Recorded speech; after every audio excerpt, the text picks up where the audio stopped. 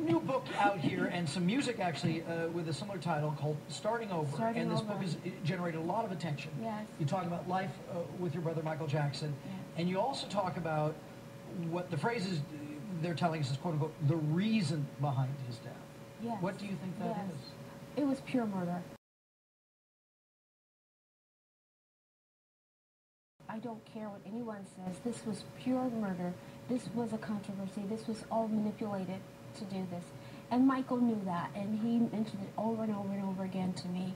Told me who was going to do it, why they were going to do it, the reason for doing it. What was And the motive? The motive was to get his publishing as I, I don't know if you guys are aware of it, but Michael had one of the biggest catalogs Yeah, in the yeah. world. The Beatles songs and several others. Everybody's basic, every artist basically out there, he owned all the elevator music you hear, that's his. So all this generates a lot of money every year.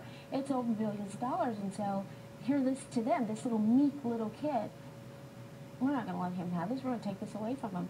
So he, he just, he hated it, but he loved it. He hated the fact that he had the catalog and they were going to murder him for it. So he said, I don't want it, it's not worth it. And then the other part of him would say, no, but it's mine, I bought it outright and I'm keep, keeping it growing. This is for my children, they can't do this Did to he me. tell you though that he feared for his life? I Oh yeah, he, he absolutely. about that. When he first told me though, I was very hesitant about believing him. I thought he was being a bit paranoid about it. But the So what, more, made- what changed your mind? well, the more he talked about it, the more passionate he was about it. He started changing. He was very jovial and, and laughing and loved the rides and hoping all of a sudden it's like, oh, they're going to kill me. He was really afraid to go Uh, out. okay, now- the- well, okay. I I was just saying, I'll never forget the afternoon. As you recall, Farrah Fawcett had died earlier that morning. Oh, yeah. No, we're going to look this direction. We're going to focus on Dr. Murray. I said, but you need to focus on other people as well. No, we're going to stay focused on Dr. Murray. So you contend that he may be the one that what you believe. Dr. Murray was a fall guy. Bottom line, that's what he was. And they knew this. These people entered into his life when he did not want them there. He had gotten rid of these people. Michael had fired John Branca. He didn't want him around.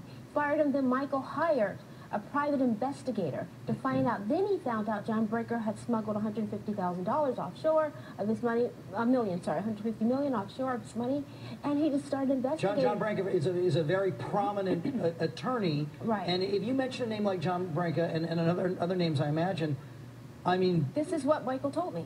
So, so does it make you scared for you? Because these are big. This is my brother. He's no longer here. Mm-hmm. I have to fight for what's right. I have to fight for what's right for him and for his children. And that's what I'm doing. I, it, it's it's So unfair if, for a person. if- if- if you come on our air here and in your book and you say, which I think you're saying, you tell me, John Branca and others, in effect, killed my brother. I'm not blatantly say they killed him. This was a conspiracy to do this to him, and this is what Michael has said to me. This is what he's told Is me and my mother could as well. looking back, to have stepped in or gotten other family members involved? To, I, well, my mother, things? my mother knew about it, of course, and I think one other sibling knew as well. I, you could have intervened a lot sooner. You must understand, these people, according to him, they came into his life, and according to the, the staff that worked around him, they came into his life probably a week, some of them, before he passed, and they were inquiring about the catalog. Mind you, Michael told me about the catalog years ago, how they were after him for it. So it's very interesting. And you have to keep this in mind too. When my when my brother passed, that well actually it's really early in the morning and of course everything was reported later and they hid all the evidence as much as they possibly could. But when he passed do you know the people that were working with him went in there and fired every single staff that worked with michael and made them sign a confidentiality contract? You can't you can't tell anything disclosure. That's something you don't do. The first thing you do is say what exactly happened? What took place here? No they didn't do that. They got rid of everybody. And So told them to some go would away. ask, well, why wasn't the family around to to be a, to, as a part of his life to prevent those people from coming in? Some people might ask that. Of course, why. and people do ask that, and this is this is how people control you. This is what starting over is about. People coming into your life because of your personality, being controlling you, controlling your funds, controlling what you do, and that's what they did. Michael, when you would try to call, they wouldn't let phone calls come through. It, it was just, it was very difficult. Yeah. You, my father, at one point, he says, "Forget it. I'm going to drive right through the gate if you don't open it." And he attempted. He did it actually. He just, he didn't care. This was his son. He was trying to protect him and save him. He was very afraid. He was afraid of his life. He was afraid for mm. everything. And his kids, you know, they go on to talk about certain things too. You're, you're a public person. You're not a private person, and you have put this in print. I'm surprised, quite candidly, it hasn't gotten more attention. Well, this book, if you read this book, this book is 80% about starting over, meaning my life and the whole bit, and the abuse that I went through with my manager locked in closets and not able to watch television, controlling what mm. I say and do.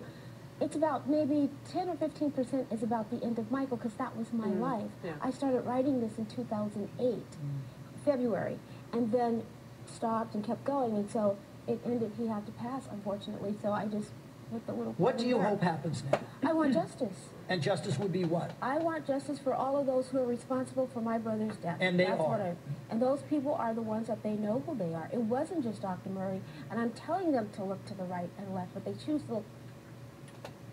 And it's not fair. It's totally unfair. And they know that.